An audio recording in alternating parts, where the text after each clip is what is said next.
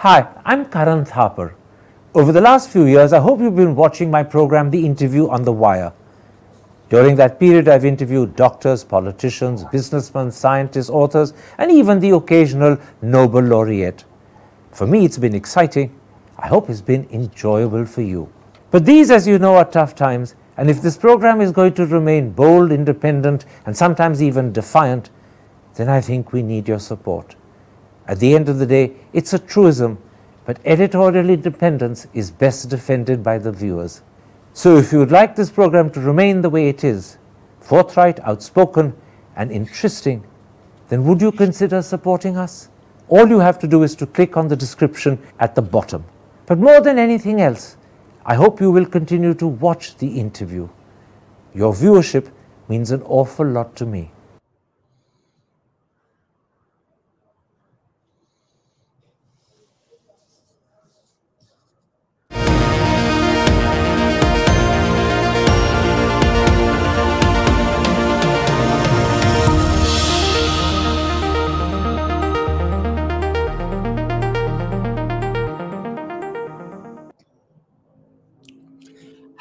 Welcome to a special interview for The Wire. For elections in Pakistan, which are scheduled for the 8th of February, we postponed because on Thursday, the Pakistan Senate passed a resolution calling for precisely that a delay of the elections. But regardless of when the elections are held, are they likely to be free and fair? Or could the concerns raised by former Prime Minister Imran Khan in a recent article in the British magazine The Economist turn out to be valid and correct? Joining me to address both those questions live from Lahore is one of the country's best known editors and clearly one of its most outspoken political commentators, the founder editor of the Friday Times and the former caretaker chief minister of Pakistan's Punjab province, Najam Sethi. Mr. Sethi, let me start by asking if elections will be held on time. Your election commission has announced that they are scheduled to be held on the 8th of February, but on Thursday, the Senate passed a resolution demanding that they be delayed for two reasons. Firstly, because of the prevailing security conditions, and secondly, because of the cold weather. So, will elections be held in a month's time as they should be, or is the stage being set for a postponement? Um, hello, everyone. Karan, that's the multi billion dollar question. Um, I think, except for the establishment, no one really knows whether they will be held or they won't be held. The interesting thing is that most people think they won't be held. But equally, the government and establishment sources say, yes, they will be held. So that's the sort of current situation we are in. The country is awash with rumors of all sorts. Uh, that uh, there will be a law and order situation that will lead to a cancellation or a postponement of the elections, um, all manner of conspiracy theories that they perhaps an emergency may be declared, a financial emergency or some other form of emergency, and at the last minute they may be postponed. Now, here's the problem. The problem is that, first of all, they've already been delayed beyond the 90 day period that was uh, mentioned in the Constitution. But this has been sanctioned and approved by the Supreme Court. Now, the courts are very, very clear in their own minds that they must be held on the 8th of next month. And so, therefore, we are now a month away from the elections, and there is no election activity going on in this country. Instead, the country, as I said, is awash with all manner of rumors and conspiracy theories. And now, why is that? I think the reason for that is that the perception, the public perception is that if there were to be absolutely free and fair elections, which would be quite unprecedented because there have rarely been free and fair elections in this country, except perhaps on a couple of occasions. Um, then, in that case, the Imran Khan's party would have a majority over the others. That's the public perception. That's also part of what the surveys are showing. Now, here's the problem again. If that were to happen, uh, there would be an acute uh, constitutional and other crisis because Imran Khan was thrown out by the establishment and the other parties got together. And um, now, if he were to come back, there would be a huge hiccup as far as the establishment's plans are concerned going forward. And also the rehabilitation of Nawaz Sharif and Asif Zardari and all the other politicians who were at the receiving end of the stick from Imran Khan, who were determined that he would wipe out all the political parties and have a single party rule in the country, along with the help of the establishment. So we have this great dilemma when we have a, an army chief uh, who was kicked out by Imran Khan when he was DG ISI. And there's said to be some personal issues involved as well.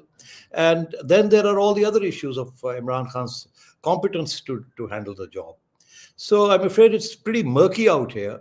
And um, we really won't know which way the wind is going to blow come 8th of uh, January. Let me quickly, for the audience, point out that the establishment you refer to is Pakistani language for the military, which is a controlling influence in your country and has been so for the last 75 years. Now, let's briefly discuss the reasons cited by independent Senator Dilawar Khan in his resolution calling for postponement of elections and ask you whether he is really raising credible reasons. First of all, he refers to, and I'm quoting him, serious threats to the lives of prominent politicians in Khyber Pakhtunkhwa as well as Baluchistan. And I gather, according to the Pakistan Institute for Conflict and Security Studies, there were over 600 attacks by armed groups in 2023, which is an increase of 60% over 2022. And the same organization says that 93% of these attacks took place in Khyber Pakhtunkhwa and Baluchistan. So, in your estimation, is a lack of security a legitimate reason for postponing elections, or is it just an excuse? Uh, let's first put the Senate resolution in perspective. There are over 100 members of the Senate, the upper house, of which only 14 were present, one four were present that day when the resolution was carried, of which two uh, voted against. So now, what is the importance of such a resolution that was clearly uh, came up right at the last minute, as though it was a last minute attempt to do something. Uh, if you look at the situation in the House, there are not too many people to oppose it. So most people think that that has no more significance than purely an attempt by the establishment and its uh, supporters in the Senate to check the waters to see what the public reaction is going to be, to see what the international reaction is going to be for a, a, a resolution such as this. Because at the end of the day, Karan, this resolution carries no weight. Uh, even if it had been a resolution by all the all the members of the Senate, it would still not have been binding in any way. So therefore, I think we shouldn't pay too much attention to that. But this is the point I'm making. My sense is that the elections will be held on time, provided as we go up towards the run up to the elections, the establishment feels comfortable with its control over the results that are going to come. Uh, if the establishment thinks they will not be able to manage the sort of numbers game that they are playing, in other words, coalition governments at the center, Imran Khan in a minority, and so on and so forth, no threat from Imran Khan, and a workable arrangement of a hybrid regime monitored and, shall we say, controlled by the establishment with prime ministers and presidents and all the rest of it, but which could then last for the next five years. If the establishment thinks they can manage this situation, then they will go, go ahead and hold the elections. But if they think they can't manage it, and there may be some serious issues uh, in terms of uh, the election results, if they allow a greater freedom to it, then I'm afraid uh, they will have to think again. Uh, my sense is that uh, uh there is no question of Imran Khan, Imran Khan coming back, being released, or being acquitted. I think those decisions have already been taken, and some of the cases are pretty strong against him, even though he has a lot of sympathy uh, and support, even in the judiciary.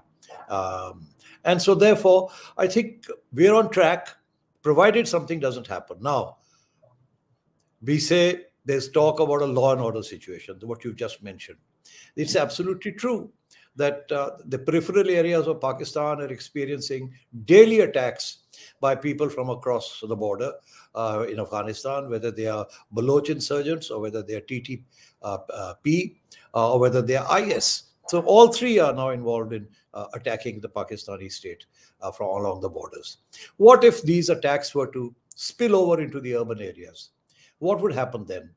That's an open question. Under those circumstances, how will you have uh, uh, a free run of elections? If people will be scared to come out to vote, or, or if polling booths are attacked, or even if I may say so, if any of those organizations issues a formal statement that can be attributed to it, that can confirm it, that say that we are against democracy, we will not allow these elections to take place. What then?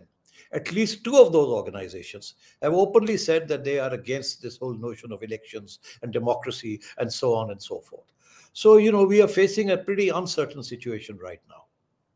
But you don't think that as things stand, the security situation is serious enough to postpone elections. That postponement will only happen if the establishment loses confidence in the results. If it's uncertain of the outcome, it will find any excuse to postpone the elections.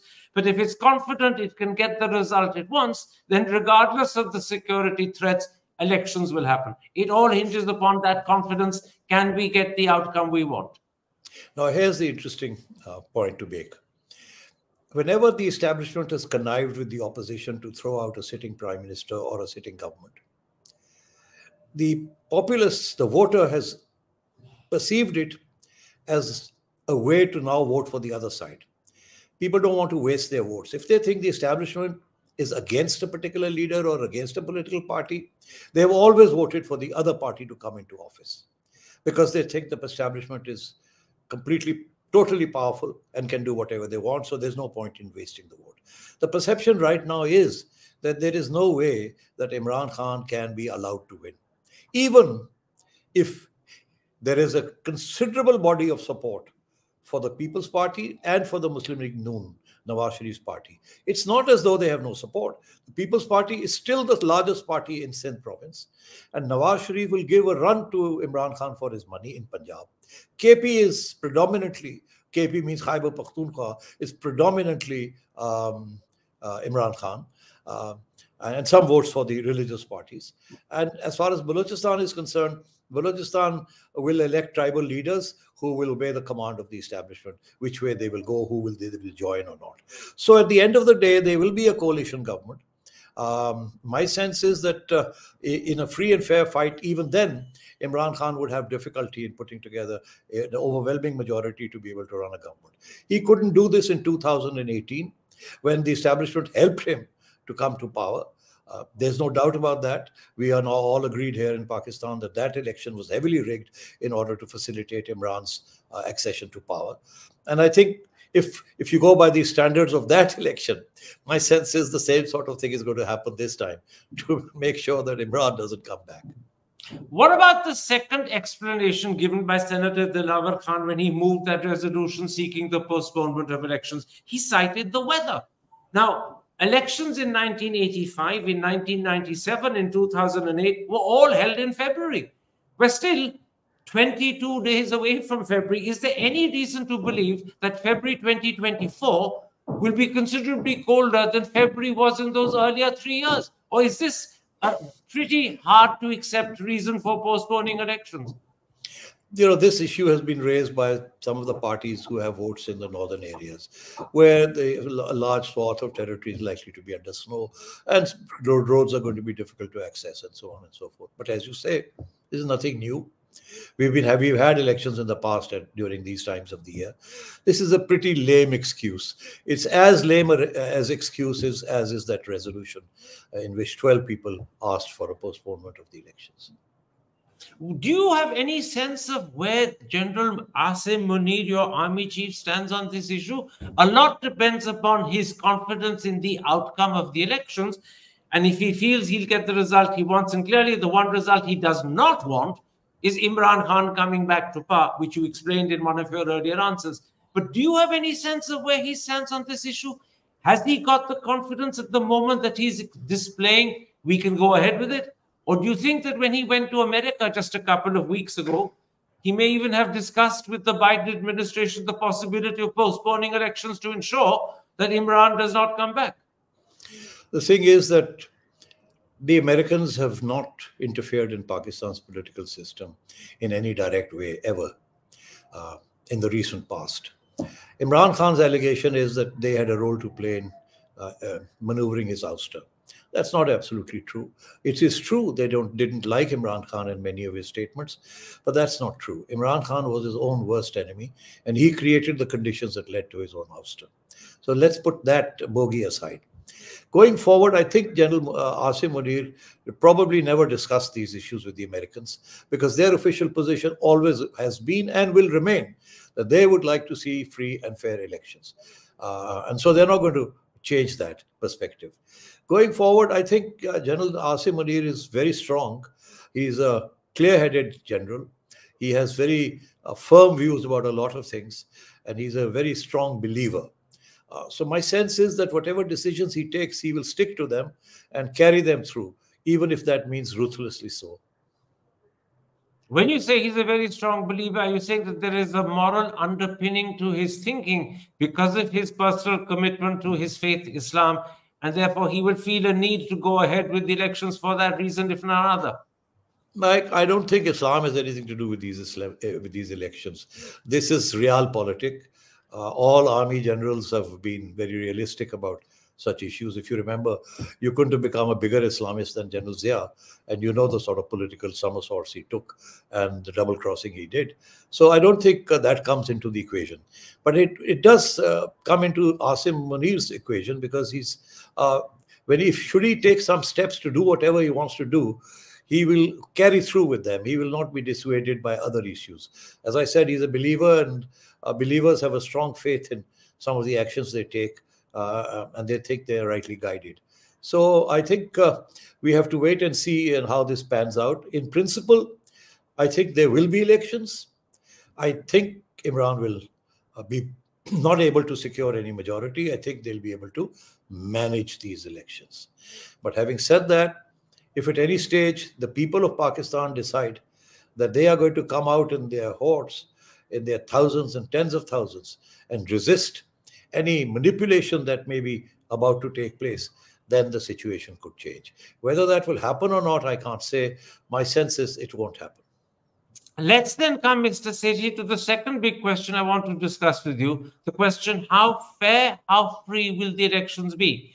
In a piece that appeared under his name, although I know there is a certain controversy in your country whether Imran Khan actually wrote it, but the piece was published by The Economist just a couple of days ago. Imran Khan has said that the elections would be, and I'm quoting him, a disaster and a farce. And his argument is, and again I'm quoting him, the establishment, which he explains is the army, security agencies, and the civil bureaucracy, is prepared to provide, sorry, let me read that again, is not prepared to provide any playing field at all, let alone a level one for PTI, which is his party. Clearly, your answers suggest he's correct when he says that. Well, you know, the thing is, Imran Khan has forgotten what happened in 2018. So, you know, the boot, boot is on the other foot now. The fact is, there are some issues involved with this article of his. The first is that did he write this article or was it written for him and, and published under his name? Uh, the jail manual declares clearly that a convict cannot write, communicate with anyone, especially in writing, without it being vetted by the superintendent of jail. My sense is that Imran has neither said that he wrote the article nor that he didn't. And I think that there will be a new case instituted against him. Because if he doesn't deny writing the article, then they will say that you violated the jail rules, you wrote something, you smuggled it out, and so on and so forth. Uh, so I don't know what his position is likely to be. Uh, having said that, there are lots of inaccuracies in this article. It's a it's full of inaccuracies and falsehoods, but there are truths in it too. Uh, and so, therefore, uh, some of the claims he makes about his own performance and the conspiracy theories he attributes to his ouster are all nonsense. Uh, but at the same time, uh, the fact that he thinks that there is a there is no level playing field that is correct. There is no level playing field against him.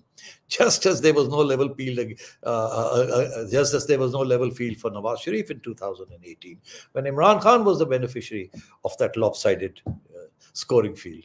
So I'm afraid, you know, we in Pakistan have become pretty cynical about some of these issues. Um, and Imran Khan's holier than thou attitude uh, appeals to his supporters. But if you have to be fair and, and, and, independent and make an independent assessment, uh, the fact is that uh, he is reaping what he has sown himself. Let me quote Al Jazeera. This is Al Jazeera from the 5th of this month. It says not only have Imran Khan and now his uh, former foreign minister's papers been rejected by the election commission, but Al Jazeera says, and I'm quoting, the papers of thousands of other opposition candidates were also rejected by the commission. But I believe yesterday, The Election Commission informed your Supreme Court that pretty close to 87, 88% of PTI candidates have been cleared. So, what is the position? Is Al Jazeera right, or is Al Jazeera already a day old? Al Jazeera is already a day old. The fact is, yes, uh, a lot of people from the PTI file their nomination papers. Normally, what happens is that one person files a paper and there is a second as a candidate, what you call a covering candidate for him. So each party doesn't file more than two or three uh, papers uh, candidates. In the PTI's case, since there was some doubt about whether or not they would be allowed to fight under the PTI symbol, uh, because that's also a question mark right now, whether they will get a particular symbol to represent the full party or not, or whether there will be some more confusion on that score. Mm, PTI fielded a number of candidates, unofficially PTI, uh, but officially uh, independents. And so, therefore, uh, some of them were just fly by night operators uh, who were just told to file and just to keep the pressure on. So I don't think there's any significant person in the PTI has been disqualified. Uh, I think this the qualification process has been uh, genuinely fair. There is not much to write home about. Yes, there was a lot of harassment. Yes, the agencies uh, tried to create difficulties in the way of uh, candidates. Those who were trying to, uh, who were known to be PTI supporters, they were uh, they were advised not to. Uh, and so on. Some agreed, some didn't. Some went ahead and did it. Uh, so, on the whole, um, uh, PTI nominations have been accepted. Now, you raise this issue about the party symbol, which is the bat, and the bat clearly is not just a symbol for the party, it's a symbol for Imran Khan himself because it represents cricket and it is, I presume, an extremely popular symbol in Pakistan for that reason alone. Yours is like ours, a cricket mad country. But will that in fact be ultimately denied to him? I believe that case is now likely to go to the courts. What's your sense? Will it be denied? And if it's denied to his party, how will that denial be perceived by the voters? Well, if it's denied, then the voter will see this as yet another attempt to rig the elections against Imran. Um, the, the prob- there are legal problems here. The Election Commission has denied that symbol to the PTI because it says the PTI didn't carry out internal elections. Uh, so it has a valid reason. That's why they were denied that. Now, if that, if they're denied the, the symbol, then there's no PTI then all PTI candidates must either band together into a new party, which is going to be difficult because then it has to go through the whole process again. There's not enough time for that. Or all of them will stand as independents. And they will stand as independents, and people will be expected to know that this independent candidate is a candidate who's actually a PTI candidate. That will be to the disadvantage of the PTI. And I think that behind this thinking of not of denying them this uh, this symbol is this sort of thinking that that will make life even more difficult for the PTI to get its act together. Now, you suggested in an earlier answer, Mr. Sethi, that the perception, and I underline that word, the perception in Pakistan is that if free and fair elections are held, Imran Khan and his party is likely to win. In his Economist article, he claims that something called the Pattan Coalition 38 poll in December suggested that 66% of the country supports him, supports his PTI.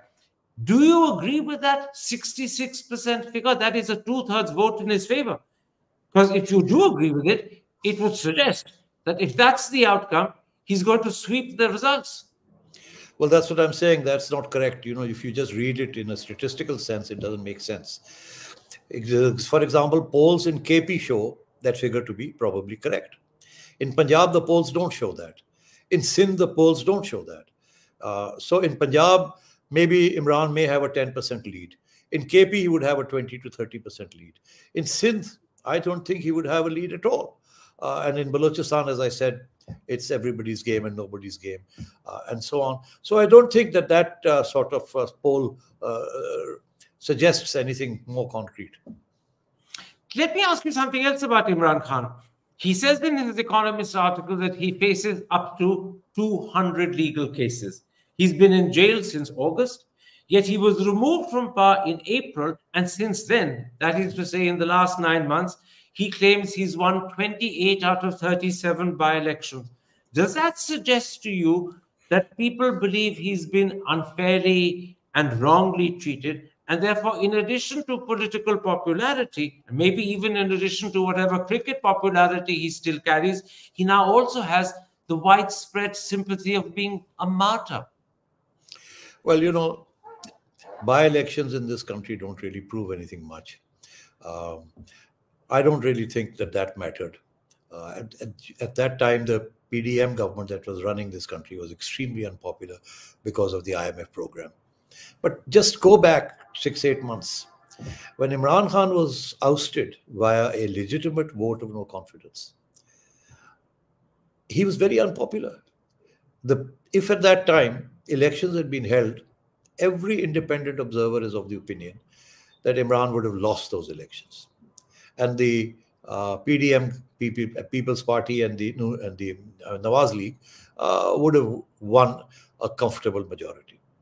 Today, the tables have been turned. The performance of the PDM government, basically the Nawaz League in the lead and the People's Party solidly behind, though that government's economic decisions have alienated large sections of the population, especially the lower classes, uh, who were originally divided. Some were vote, likely to vote for religious parties, some were voting for Nawaz League, some for People's Party, some for Imran. But a lot of those classes have been very, very badly hurt by these economic policies. Now, and so therefore, their vote has now shifted away from here and there towards the PTI because they think that, well, PTI wasn't as bad when they were in power. Look at what these Johnnies have done. And so I think that's a terrible luggage that Nawaz League is carrying right now, and that has diminished its popularity. But as I said, if they had done, if they had gone to elections before they formed the government, and ran it for 11 months and carried out all these terrible uh, economic policies. Good for the country, bad for politics. Uh, then things might have been different.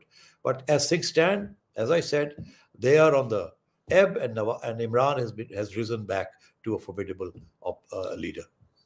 But as you said at the very beginning, elections are only likely to be held if the establishment feels they can get the outcome they want, and the outcome they want is clearly the Muslim League with Nawaz Sharif getting a fourth term as prime minister. The question is, will the Supreme Court allow Nawaz Sharif to stand? Because the moment I believe they're deciding this question of the length of his debarment, he wants it reduced from five years, sorry, from life to five years. Will the Supreme Court agree? I believe that verdict will be delivered anytime in the next four or five days. Yes, I think it's an open and shut case. It's the views of the judges are clear. They have indicated as much that it's ridiculous on the basis of the fact that you're not a good Muslim. And who decides who's a good Muslim? You've been disqualified for life. It's not not tenable under any te- uh, rational, rational uh, legal decision. So my sense is they're going to overturn that. And as you know, he's been acquitted now on the two other cases, which were rigged against him. Uh, there's no doubt about that. And there was no evidence and they were rigged against him. So, in a sense, Nawaz is now has a clean slate. It's Imran Khan whose slate is not clean. Regarding the 100 cases or so, I don't know. You know, in, in, in this country, uh, even journalists have at least a dozen cases on them at any given moment of time, whether it's sedition or whether it's breaking this law or breaking that law. And these things carry on and on and on. Uh, I think there are three or four serious cases against him. The rest is neither here nor there.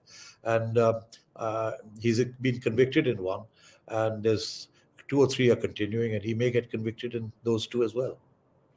Just to stick to Nawaz Sharif, you're saying to me, if I've understood correctly, that you believe that the Supreme Court judges have already indicated, although their judgment has not come out yet, that will only happen, we're told, in four, five, or six days' time. But they've indicated through their statements that a debarment for life on grounds that you're deemed to be not a good Muslim is ridiculous. They will therefore accept the reduction of that debarment to five years. And if that happens, Nawaz will be free and cleared to contest. Have I understood correctly? I mean, they haven't said it's ridiculous. I'm saying it's ridiculous. Their questions from the amicus curiae and the other lawyers have been aimed at trying to determine whether this is a good law or a bad law. And the very nature of those questions suggests that uh, they're thinking in a particular way. So my sense is that uh, they will uh, bring the uh, disqualification down to five years. Now, you're an astute observer of the political situation. What's your hunch? I know it's still 30 days to voting and maybe a couple of more after that before the counting happens. But do you expect to see Nawaz Sharif as Prime Minister for a record fourth time? Once again, a billion dollar question. I think Nawaz wants to be Prime Minister for the fourth, fourth time, if only to redeem himself and to show the world that, you know, the state's uh, stage, the stage was rigged against him and he has a right to come back and complete a full term. Uh, he was never allowed to complete a full term. Three times that he was prime minister, and all three times the establishment determined to get rid of him. Uh, he hadn't done anything outstandingly wrong, and they got rid of him. And they wanted more a more pliant uh, prime minister. Uh, so I think Nawaz will want to be the prime minister. But whether Nawaz will want to be the prime minister of a weak coalition government, what if the Noon League, his league, doesn't get over 100 seats? What if they get or are given, whatever you like to call it, say about 70 or 80 seats? And he has to rely on a coalition of uh, untrustworthy partners uh, uh, who want concessions, constant concessions. He won't be able to run government. Will he then want still want to be prime minister, or would he then become like Sonia Gandhi, the somebody who sits outside the big leader and lets his brother and his daughter run the show? I think those questions are blowing in the wind. We will know more about these issues once we have the election results before us. My last question in the circumstances that prevail today, and given the treatment of Imran Khan and his party and the way that's being perceived by the voters of Pakistan, will a Muslim League victory, or maybe I should put it a Nawaz Sharif victory, carry credibility in the eyes of the people of Pakistan? Or will this look like an outcome that's been fixed and rigged? And no matter who becomes prime minister, he will not have that essential popular backing that a prime minister who has to tackle the challenges Pakistan faces badly would need.